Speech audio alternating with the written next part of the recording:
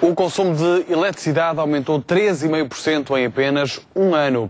Esta subida, registada entre fevereiro de 2012 e fevereiro de 2013, justifica-se, segundo a REN, por causa das baixas temperaturas registadas em Portugal nos primeiros dois meses do ano passado.